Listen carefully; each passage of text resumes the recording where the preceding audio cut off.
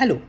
Ich habe vor ein paar Monaten ein äh, Interview gegeben zum Thema Freundschaft und äh, habe heute den Vordruck bekommen, weil ich lese dir dann immer noch mal durch.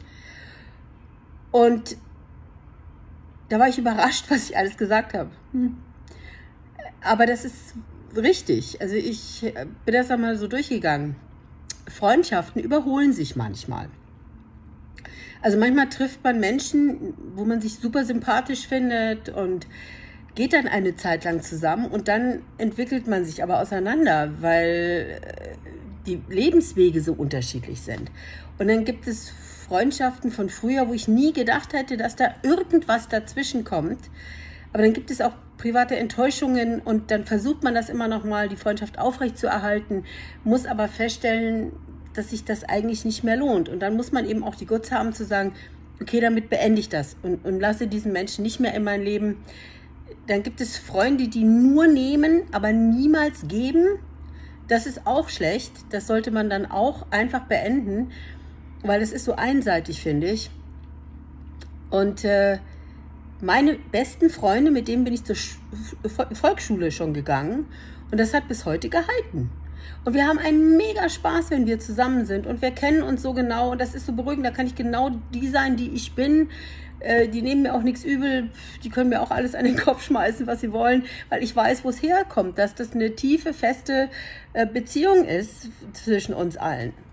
Und äh, aber allen anderen, die man so im Laufe seines Lebens begegnet, also dass daraus dann wirkliche Freundschaften entstehen, ist wirklich selten. Also ich habe vielleicht, wenn es hochkommt, fünf, sechs Freunde.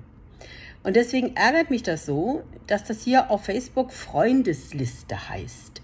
Also die Leute haben sich ja wahnsinnig aufgeregt, dass ich jemand von meiner Freundesliste geschmissen habe. Das ist keine wahre Freundschaft. Nein, viele kenne ich ja teilweise gar nicht, die auf meinen Freundeslisten sind. Also ich habe eine private Seite auch, auf, da lasse ich aber wirklich nur Leute drauf, die ich auch irgendwann mal persönlich kennengelernt habe. Allerdings hat Facebook mir plötzlich eine ganze Schwemme beschert äh, von Leuten, die ich gar nicht kenne, die schmeiße ich oder blockiere ich dann auch oder schmeiße wieder raus.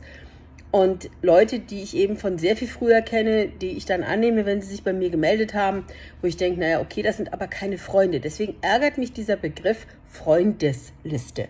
Denn unter Freunden verstehe ich was völlig anderes. Das ist eher eine Bekanntenliste. Wobei aber auch bei Bekannten sollte man davon ausgehen, dass man sich irgendwo kennt. Ähm, ich finde also dieses Wort Freundesliste sehr hochgegriffen.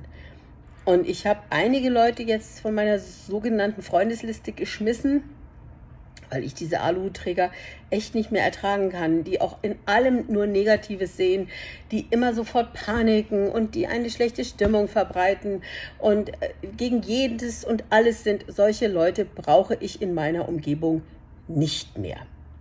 Und da greife ich auch ziemlich hart durch und ich habe mich auch in den letzten, gerade in den letzten drei Jahren, sehr viel von sogenannten Freunden getrennt, weil ich einfach gesehen habe, es war entweder immer sehr einseitig oder aber es hat sich so auseinanderentwickelt. Und da sollte man dann auch wirklich den Mut haben, diesen Ballast wirklich abzuwerfen. Es tun sich auch wieder neue Sachen auf, definitiv. Und deswegen sollte man darüber mal nachdenken, wen man, von wem man sich fernhält. Es gibt ja zum Beispiel auch Menschen, die sind wie Vampire, also die saugen einen aus. Ich, da ist man nach drei, vier Stunden Gespräch völlig fertig. So ein Kopf. Solche Leute will ich nicht mehr in meiner Umgebung haben. Das ist mir zu anstrengend. Oder auch Leute, die gar nicht zuhören. Ja, die einfach in das Gespräch reingehen und die nur, wo jeder Satz mit ich, ich, ich anfängt, wo ich sage, dann bleib für dich. Wirklich. Oder auch Leute, die überhaupt zu keinem Argument, also kein Argument zugänglich sind, die das alles sofort immer abblocken. Ich meine, jeder kann mir was erzählen und ich höre mir das erstmal an und dann sage ich, okay, ist was für mich oder nicht. Oder Leute, die plötzlich in eine politische Richtung abdriften, die ich absolut nicht unterschreiben kann. Äh, und und mich wundere, dass das überhaupt möglich ist, ja. Aber dann muss ich mich davon auch trennen. Und nein, ich muss das nicht akzeptieren in meinem Umfeld. Das will ich nicht. Wenn die mich dann da überzeugen wollen, und nein, das brauche ich nicht.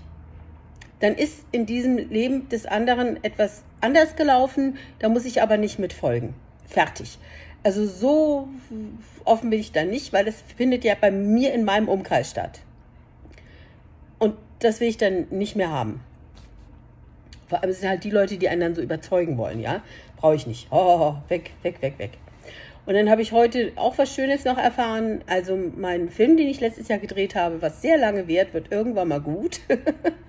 Der voraussichtliche Sendeplatz ist jetzt am 2. Oktober und man hat endlich auch den Titel gefunden. Es heißt also nicht mehr das Beste zum Schluss, sondern es heißt jetzt Anna und der, ihr Untermieter, aller Anfang ist schwer. Gut.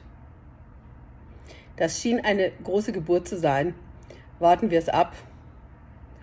Ich hätte, ich hätte lustig gefunden, Anna und der Herr vom Ordnungsamt. Aber ich vergebe keine Titel. Okay, also, in diesem Sinn, auf die Freundschaften.